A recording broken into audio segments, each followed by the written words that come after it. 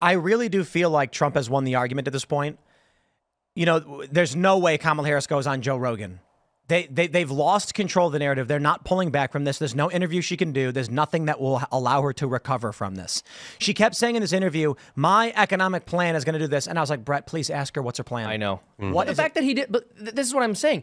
He was not going after her like a pit bull. These were really basic questions. These were really easy questions, and there were things he did let her get away with. I wish he she. was not I a wish she would have gone her. after her, particularly about that line she kept using about Trump promising to use the military on American cis- citizens, which is a complete fabrication. It's total nonsense. Total nonsense. Just like What- Trump she- grabbing the wheel of the Secret Service's uh, SUV on January 6th. Do you remember that? That they Oh, were right. claiming that? That, That was, uh, what was that, Cassidy Hutchinson? yeah, they even they even did a comic strip, they like said- they did illustrations of it. They said that Donald Trump grabbed the steering wheel of the vehicle he was in. The only problem is he was in the Beast, and it has a barrier between the driver and him for security reasons. And so I'm like, did, did Donald Trump phase through solid matter to do this? What What is the world they live in?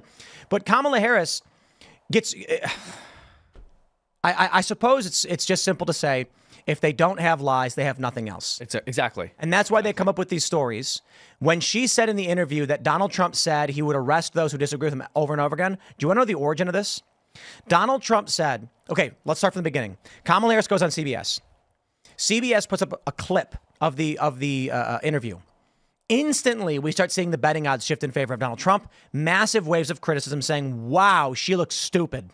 CBS airs a different version of the answer people noticed that CBS went in later and edited the clip. For some reason, her answer was different.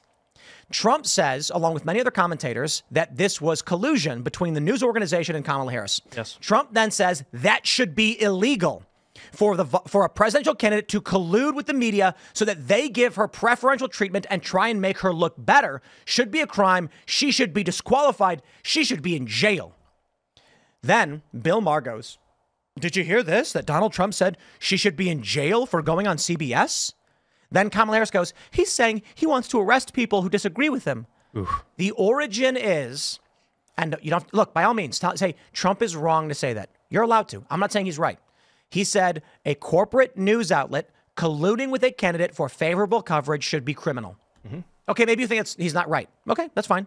Tell me that. But when they when they play this game of Purple Monkey Dishwasher, Yep. where they just say garbled. It, th- okay, I have said this before. I'll say it again. The left is an ant death spiral. Hmm. You, you ever see those? Yep. Ants follow pheromones of other ants, and if and that's how they know where the food is. But if an ant loops around in a circle, the other ants start looping in a circle, and they all walk around in one circle until they die of starvation because they're only following the scent. They don't know where they're going. This is what liberals are doing. Kamala Harris now says to Bret Baier, Trump says that he's going to use the military and American people and arrest those who disagree with him. Now, some 60 year old woman who watched this or who watches MSNBC is going, calling her friends, be like, Trump's going to arrest people for disagreeing with them. And, and, and this is where the purple monkey dishwasher takes off. Who was it that alleged? Oh my gosh, there was some official who was saying that Trump could use special forces against his enemies. Which I, the, the most hilarious part of that is the idea that any of Trump's political opponents would necessitate the use of SEAL Team Six.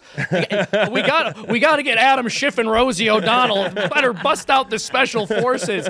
But it's all complete and total nonsense. They have literally gone after him with transparent political prosecutions. They have redefined laws, the severity of the punishment for those laws once they're broken, and the statute of limitations just to go after him in New York. Everyone knows this. Everyone sees what they're doing, and they're going to turn around and say Trump wants to use the military on American citizens. It's nonsense. If Donald Trump wanted to do that, right? If Donald Trump was going to use the military against his political opponents, if that was ever something he was interested in doing, you would think when he supposedly attempted a coup and he was the commander in chief of the United States military at the time that he was supposedly attempting this coup, he would have done it then. But no, instead, even though he had that power, he tried to quote unquote overthrow the US government by dog whistling to a crowd of unarmed boomers to walk into the Capitol and chant. Okay, I, I, here's what I think. In this country, we have two factions, principal factions adults and children. Yeah. And I think it's a fair way to put it.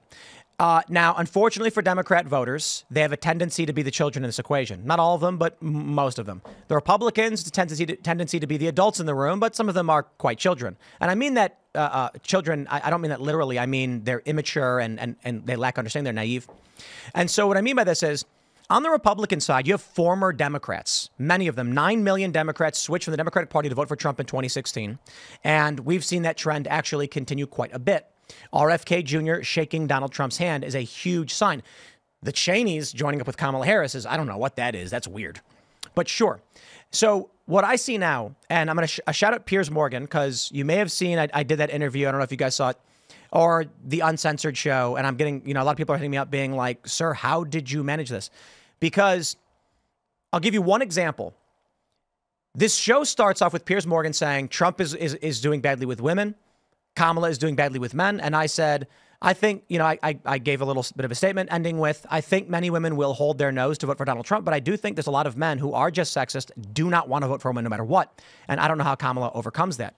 All of a sudden, this woman is just screaming my name yelling at me, accusing me of being a COVID denier who then got COVID and took ivermectin, which none of which uh, aligns in reality.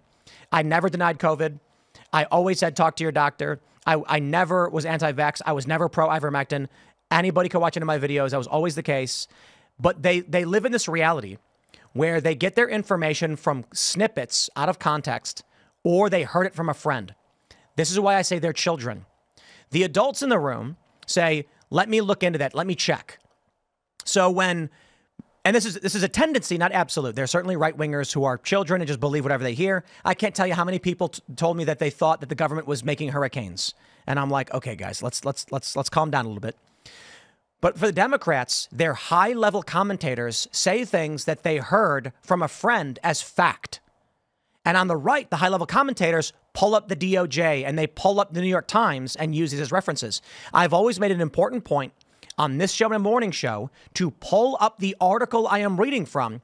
And I tell you this still, when I read an article from the Star Tribune that said Ilhan Omar, and this is a quote, not from me, may have married her brother, I said, wow, I can't believe the Star Tribune has reported that. Media Matters then ran an article saying Tim Pool claims, or Tim Pool says or something, Ilhan Omar married her brother, which I never did. But they don't, the people who fall for Media Matters tricks, the people who fall for this manipulation, aren't smart enough to do the actual research. They sit in their lounge chairs watching CNN going, whoa, while the rest of us are trying to figure out what's really going on. The problem, they vote too. Yeah. Thanks for checking out this clip from Timcast IRL. Make sure to watch the show live Monday through Friday at 8 p.m. Subscribe to this channel, and we will see you all there.